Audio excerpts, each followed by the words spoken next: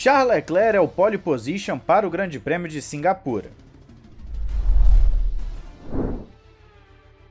Olá, amigo do Ressaca Fórmula 1, seja bem-vindo a mais um vídeo. Eu sou Matheus Pucci e tivemos uma sessão de classificação muito legal, bem imprevisível, surpresas inclusive acontecendo e um final que deixou todo mundo na expectativa de quem faria pole. Vai ser Leclerc, vai ser Hamilton, vai ser Verstappen? Quem vai conseguir? E foi bem legal e muitos estão se perguntando o que, que aconteceu com Max Verstappen. Neste vídeo nós vamos esclarecer para você. Então vamos começar pelo seguinte, passando rapidamente pelos demais pilotos. No Q1 ficaram Latifi, Albon, Ocon, Ricardo e Bottas, sendo que Bottas, Ricardo e Ocon são surpresas, esperava-se um desempenho um pouco melhor deles. Ocon parece que teve problemas, Bottas e Ricardo foi mais uma questão de performance mesmo. Já no Q2, Guan Yu Zhou, Sebastian Vettel, Schumacher, Stroll e Russell ficaram de fora, sendo que Russell é a grande surpresa, poderia ter passado com a Mercedes, tinha carro para isso, mas pelo visto ele não está conseguindo extrair o mesmo tanto que o Hamilton em Singapura. O Russell, pelo visto, está com certo problema de ajuste, enquanto a Aston Martin até tentou o pneu macio, mas foi na hora errada e tinha possibilidades de conseguir chegar no Q3. O carro parecia bem ajustadinho até para essa pista, talvez amanhã consigam terminar nos pontos. Passando para o Q3, Tsunoda Magnussen estão ali no Q3, Gasly, Norris e Alonso também fizeram um belo quali, principalmente Lando Norris e Gasly, porque são carros que oscilam muito, a Alpine a gente até espera já tá mais ou menos ali, e a surpresa fica pelo desempenho da pole position, que Charles Leclerc fez a pole, o que não é surpresa para ninguém, mas a disputa em si, a forma como foi, é o que chamou a atenção. Hamilton estava a todo momento brigando entre os primeiros, inclusive ele se sentiu frustrado, deixou isso muito claro, que poderia ter conquistado a pole position, e eu confesso que assistindo a sessão, achei que Hamilton faria. Ele vinha numa volta boa, mas cometeu algum erro, ou talvez não tenha conseguido tracionar direito, e não melhorou, ficando em terceiro. Ainda assim, menos de um décimo do primeiro colocado. A Mercedes vem bem, pelo menos brigando junto da Ferrari e da Red Bull do Pérez, que ficou entre o Leclerc e o Hamilton. Foi muito ajustado esse quali. Você vê que o Sainz ficou já a um quase dois décimos do Leclerc, então foi bem ajustado. Eu acho que todo mundo esperava uma pole um pouco mais longe do segundo colocado e no final das contas foi bem próximo. Devo lembrar a vocês, conforme explicamos em vídeo de ontem, que mudaram algumas regras daquela diretiva sobre o porpoising, então Mercedes e Ferrari não precisaram levantar tanto seus carros, o que ajuda a performance deles. Se tivessem que levantar como fizeram na Bélgica, por exemplo, aí ficariam muito para trás porque a Red Bull rende bem melhor do que as suas rivais com o carro levantado. Mas o que, aconteceu com Verstappen? Muitos estão perguntando. Ele vai largar em oitavo, por que, que ele abortou duas voltas de forma consecutiva e duas voltas boas. Se não fosse pole position, pelo menos teria largado numa posição melhor. Então vamos explicar para vocês que eu tô aqui com o que vocês gostam, o pessoal já tem falado bastante da telemetria.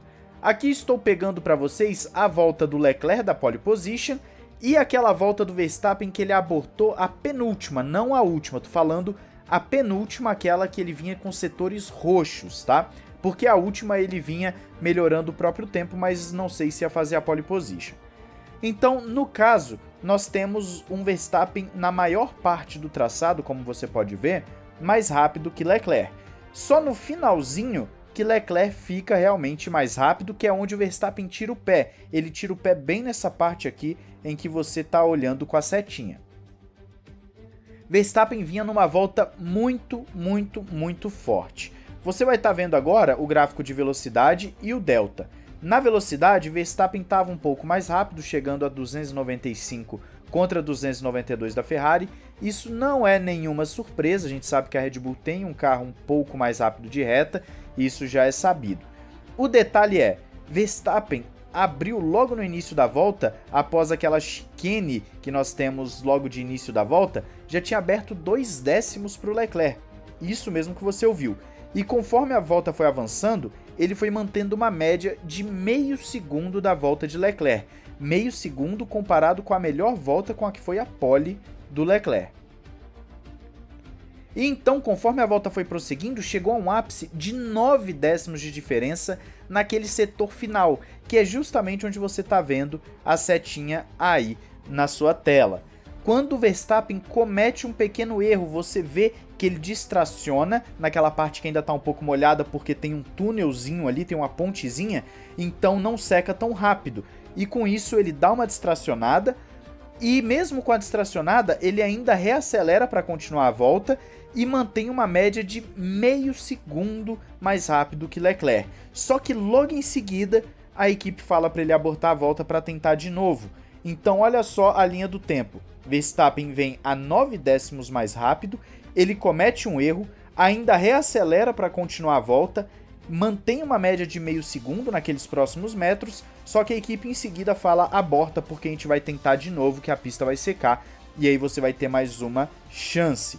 E aí Verstappen então tira o pé totalmente, você vê no gráfico de velocidade que ele vai começando a ficar bem mais lento que o Leclerc, e com isso nós chegamos naquele ponto que o Leclerc é muito mais rápido que o Verstappen, que você viu no final da volta, e tem essa diferença toda. Verstappen fecha essa volta a 1,53.1, sendo que a pole de Leclerc é de 1,49.4.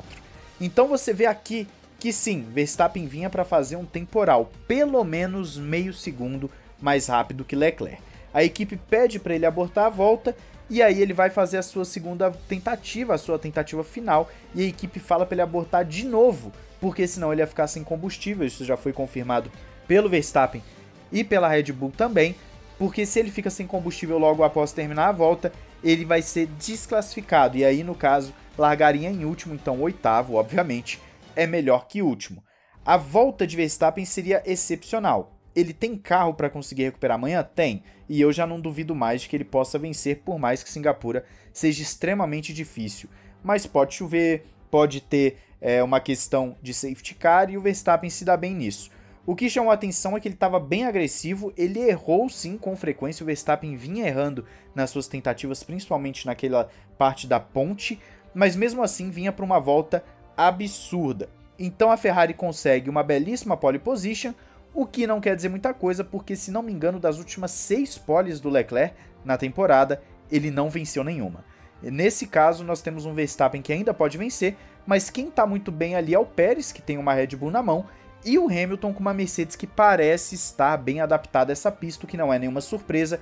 A gente sabe que a Mercedes anda bem nesse tipo de traçado. Então, nesse caso, nós vamos esperar uma corrida equilibrada entre aqueles três primeiros, com o Sainz também chegando. O Alonso vai estar ali para fazer uma graça, mas não deve ter chance alguma. E o Verstappen vai ter o trabalho de fazer ultrapassagens e chegar naquela galera para tentar um pódio ou quem sabe uma vitória. É uma corrida que promete por conta da circunstância. Verstappen ainda tem chance de sair campeão, por mais seja difícil.